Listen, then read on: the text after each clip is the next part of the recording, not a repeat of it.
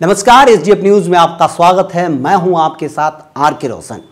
आइए देखते हैं अब तक की 10 बड़ी खबरें।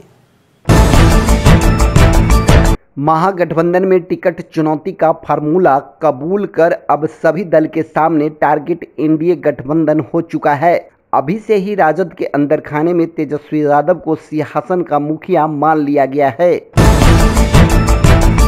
मन की आस मन में ही दबी रहते देख वीआईपी के अध्यक्ष मुकेश सहनी ने महागठबंधन का परित्याग कर भले ही गठबंधन को चौंका दिया हो, लेकिन अब उनके लिए नए घर की तलाश और उसमें सामंजस्य स्थापित करना भी आसान काम नहीं।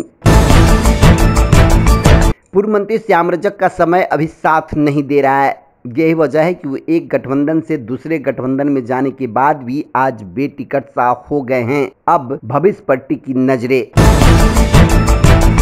केंद्रीय मंत्री रामविलास पासवान की तबीयत खराब हो जाने के बाद उन्हें तत्काल गहन चिकित्सा के लिए चिकित्सकों की निगरानी में रखा गया है, जहाँ वे स्वास्थ्य लाभ कर रहे हैं। लोजपा संसदीय बोर्ड की बैठक अचानक टल जाने के बाद अब एनडीए गठबंधन के अंदर असहजता बढ़ती दिखाई दे रही है। विदित है कि लोजपा एवं जदयू के बीच खटास कायम है।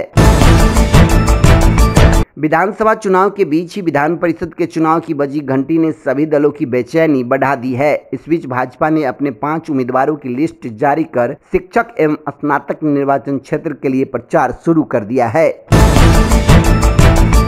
यूपीएससी के विभिन्न कैटेगरी के लिए आज रविवार को हो रही परीक्षा के लिए राजधानी पटना में काफ़ी गहमागमी देखी गई। सभी केंद्रों पर एक घंटा पहले ही परीक्षार्थियों के आ जाने की हिदायत से सुविधा हुई। दो पाली में परीक्षा निर्धारित है। पटना नगर निगम को शहर की बेहतर सफ़ाई व्यवस्था के लिए और कर्मचारियों की आवश्यकता है। अभी वहाँ सफ़ाई व्यवस्था की देखरेख के लिए 6000 कर्मी ही हैं, जिनमें 4300 ही दैनिक सफ़ाई कर्मियों के जिम्मे पटना महानगर है। यूपी पुलिस की नाकामी से ही हाथरस की घटना घटी और अब तक पुलिसिया दमन जारी है। यह कहना है कांग्रेस के फायर ब्रांड नेता राहुल गांधी का। शनिवार को शाम ढलने के बाद पीड़िता के परिजनों से मिलने के बाद राहुल गांधी और शनिवार को शाम ढलने के बाद पीड़िता के परिजनों से मिलने के बाद राहुल गांधी और प्रियंका गांधी ने इस कांड की जाँच सी से करने की मांग भी की है।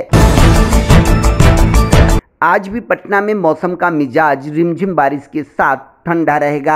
बिहार के विभिन्न क्षेत्रों में बारिश का पूर्वानुमान व्यक्त किया गया है। बारिश की घोषणा से बाढ़ प्रभावित क्षेत्रों के निवासी परेशान हो गए हैं।